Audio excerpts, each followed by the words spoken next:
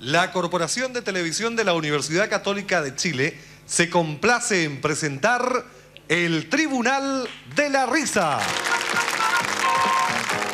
Era 1979 y en los antiguos estudios de Canal 13 en calle Lira se iniciaba este programa de humor que acompañaba las noches de los chilenos al mando Julio Videla, quien años antes, en 1973, ya se vislumbraba como un comunicador innato participando en el campeonato estudiantil junto a Antonio Bodanovich. Carla, por Mami, mami, parece que estás con catarro porque tú eres muy joven. Eres flava, estoy un poquito afectada por el asunto del smog, mi amor, pero no es el caso. Quiero hablar con Julito. No, muy bien, eh, eh, ¿Cómo se llama tu mamá?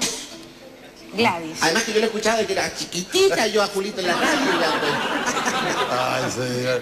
Eh, Siempre se jugaba con la edad de Julio y claro, su inconfundible voz ya era conocida en Radio Carrera y Corporación por los 70 durante su carrera siempre estuvo ligada a acompañar al trabajador y dueña de casa que escuchaba radio y fue así que en los siguientes años trabajó en Portales, Gigante, Monumental, Chilena.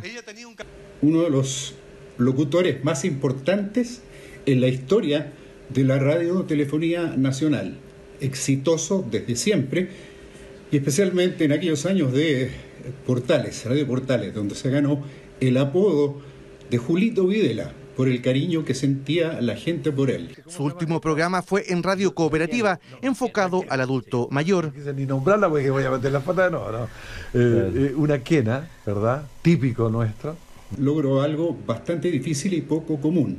Los hombres de radio no siempre tuvieron éxito en la televisión. Julio Videla también lo tuvo. Fue justamente en Canal 13 donde tuve la oportunidad y la suerte de conocer y trabajar con Julito Videla.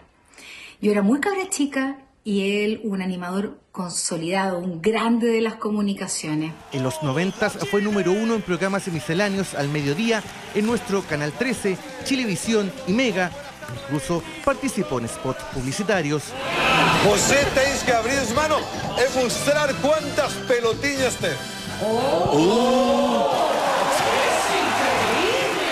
Oye, corto y fome. Siempre sabía así qué decir, qué te echar. Me encantaba cómo se comunicaba con la gente, cómo lo quería la gente. Esta tarde su voz se apagó Julio Sergio Videla Cabezas murió a los 76 años. Producto de la pandemia se fue a vivir a Viña del Mar junto a su esposa.